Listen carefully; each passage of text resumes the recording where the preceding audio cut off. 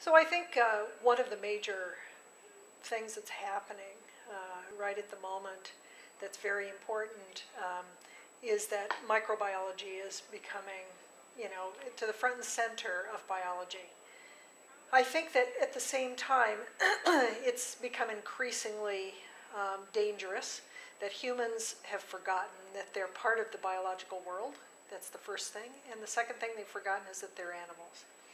And those two things, I think, are very, very important. Um, and coupled with that, we're finding that most, if not all, animals require uh, interactions with beneficial microbes. And so we have focused so heavily on pathogenesis uh, at the exclusion of that and, and not being able to quite understand all this new information of beneficial microbes that I think that we are possibly in danger of making yet another misstep in the near future.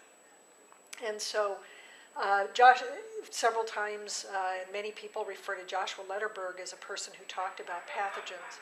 Well, in his most recent work, he talked about the end of the war metaphor, and that is to say that we should perhaps stop thinking about ourselves as having a war against microorganisms, but rather really taking a more holistic approach uh, about uh, our relationship to microorganisms.